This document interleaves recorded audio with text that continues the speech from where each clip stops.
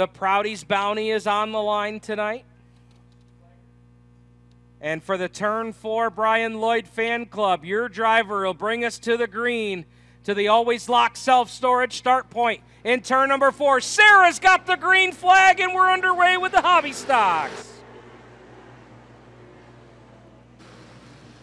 A banging field of hobby stocks tonight, 16 cars strong. And the wild man, hold on to it. Jeremy Trank had to hit the binders, but we stay green. Boy, that was a close one. As we will stay green here off of turn number four. Jamie Eldredge Jr. Boy, maybe they're getting their season back on track here. He'll lead lap number one. Oh, and we got Sean Lloyd around, and Willie Grant gets involved into it. They're out doing a little bit of mulching there for Gnarly Nick in turn number two, and they're going to go yellow. Caution lights are on. Lloyd on the inside. Then it's Burnell and Minutlo, row number two. Green lights are back on. Oh, Brian Lloyd trying to make a move for the race lead here. Oh, contact there with Burnell, your race leader, here on the front straightaway. And Burnell's in the wall. Lloyd's in the wall. Caution lights are on.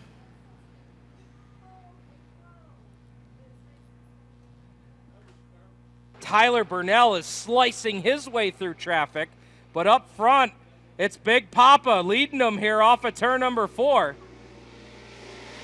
As Burnell continues to lead the 25J of Eldredge.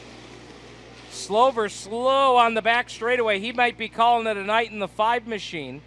Lane and opened up the door here for Justin Eldredge. Oh, but he couldn't make a move to turn three. Oh, he gives him a kick in the keister.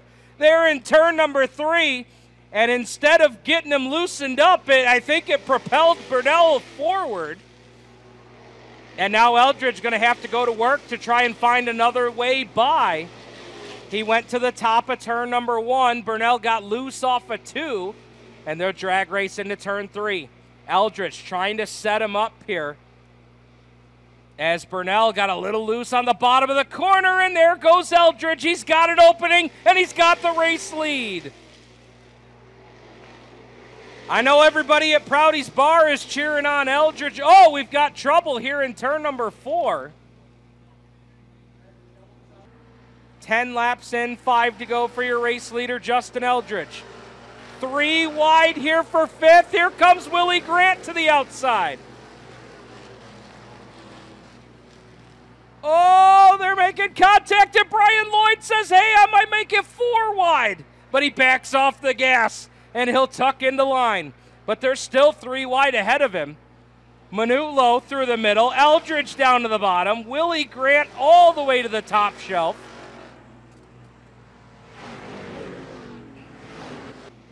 Down the back stretch for the final time goes Eldredge looking for win number seven on the season.